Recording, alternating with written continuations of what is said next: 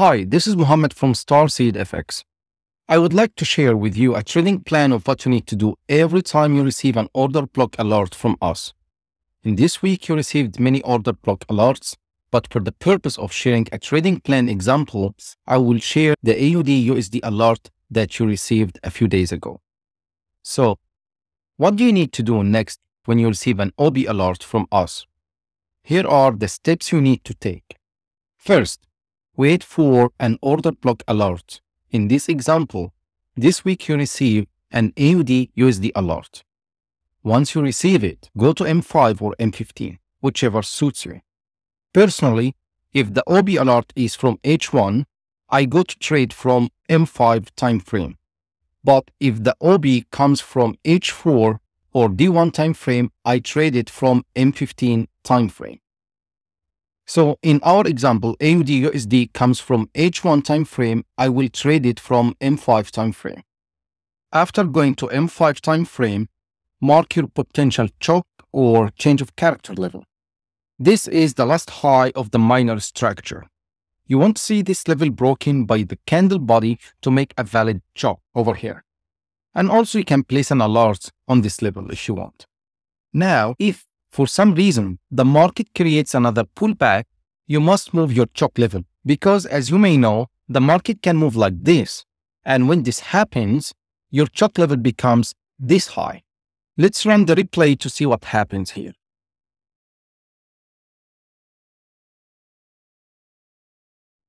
The ChoCh level has been broken and it's with the body. So what's next? You won't see the liquidity sweep and imbalance. So this is our liquidity sweep over here. Let's mark it. And you see here, there is more than one imbalance. And when this happens, I prefer to choose the imbalance that close to the liquidity sweep candle because the price usually comes back to fill in that imbalance and it can give me a higher risk reward ratio. Please note that sometimes the price may touch the first imbalance and leave you behind, or sometimes the price does not respect the whole pattern and hits your stop loss. After all, trading is a game of probability, but you need to have a clear strategy on what to do and always follow the rules of your trading plan. So, this is the imbalance and this is my OB. Let's repeat quickly what you must do once you receive our OB alerts. You go to alert time frame, either M5 or M15. Done. Wait for a ChoCh to be complete. Done. You want to see a liquidity sweep. Done. You want to see an imbalance. Done and your entry point is the candle after the imbalance, here.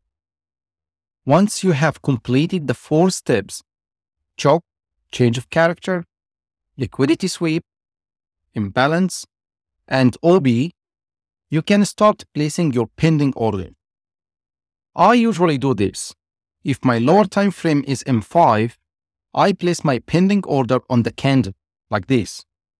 If my lower time frame is M15, I place the pending order at 50% of the candle.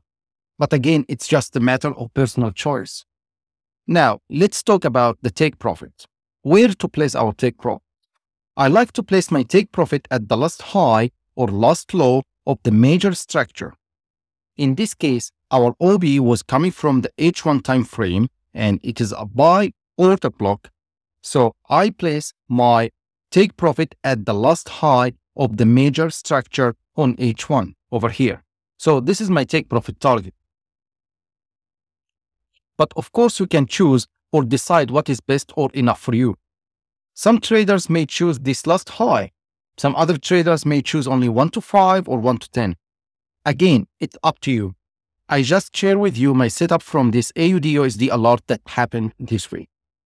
And I'd like to let you know that once you place your pending order, sometimes it takes hours to be triggered. And sometimes it can be triggered the next day, sometimes it doesn't, and the price leaves you behind. If the price does not trigger the pending order on the second day, you can remove or cancel it. Or if you believe the pattern is still valid, you can let it go.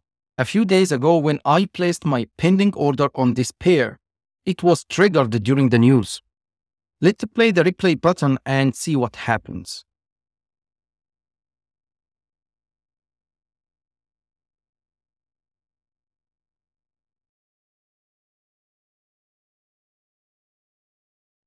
As you can see, the price moved like crazy because of the news. My trade closed in less than an hour, if you were also in this trade, you must have had your trade closed very fast. Alright, this is all for today. Please follow this trading plan. This plan will help you to minimize all the false signals when the price does not respect our order block alerts from higher time frame such as H1, H4 or D1. Thank you for watching this video. I hope you find it useful. If you have not joined our community, you can find the link in the description. Thank you everyone and have a good day.